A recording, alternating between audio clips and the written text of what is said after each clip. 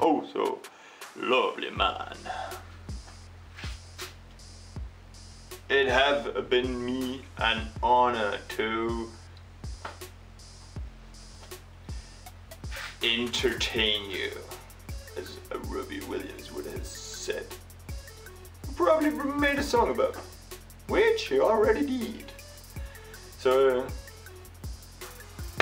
let me entertain you